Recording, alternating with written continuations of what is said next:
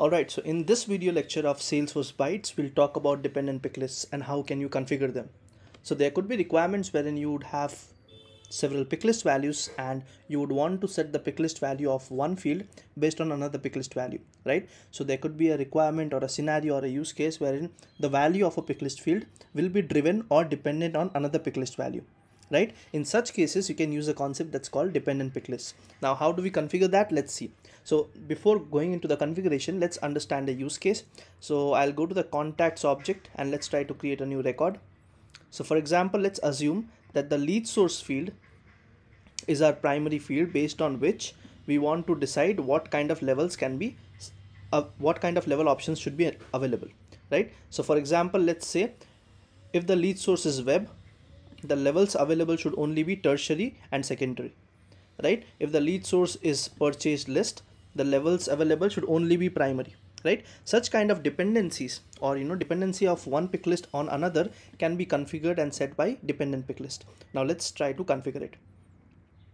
So what we'll do is we'll go to setup and under object manager we'll go to the contact object the current object in concern and under contact, contact object when we go to fields and relationships we'll notice a section that says field dependencies here right? So we'll click on field dependencies. And it says that this page allows you to define dependencies between fields right? And since there are no dependencies right now let's go ahead and create a new one. So when I click on new I get an option to choose the controlling field and the dependent field right? So in our example or our use case our controlling field is the lead source field this field right here right? Let's go ahead and set the controlling field as the lead source field. And our dependent field is the level field right? Once we have set the controlling and the dependent fields we can click on continue.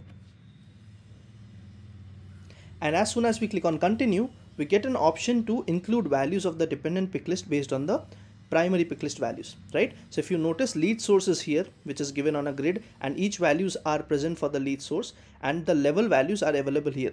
So what we can do is based on our requirement we can set and select these values. So for example let's say for lead source web we want only secondary and primary to be included. We can just say include values. Similarly let's say for example for phone inquiry only tertiary value should be there. We can say include values. Similarly I'll just do this for all the other steps. Right? So I've set the values for all the five pick list values on the lead source. And based on my configuration for web these two values should be available. For phone inquiry this tertiary value. Partner referral only secondary value should be available and so on and so forth. Once I'm comfortable with my values and setting up my use case I can click on save right? Now as soon as I click on save my dependency has been set. And now if I go to field dependencies I'll see one dependency uh, field structure set up here. That's lead source. And the level field is dependent on the lead source. Now let's go ahead and refresh our contact page and try to create a new record now. And let's see how things look like. So if I go ahead and click on new.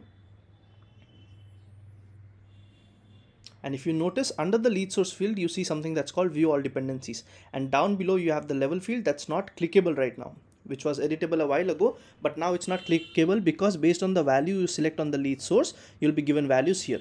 So for example if i go ahead and select purchase list you see this becomes editable and you can see that only tertiary and primary are, are available right? If i go ahead and change this value to phone inquiry my values on the level changes and i only get tertiary. So this just does not need any rendering or re-rendering or refreshing of the page and it, it, it is it is available on the standard page layout. So that's how you can configure a dependent pick list right?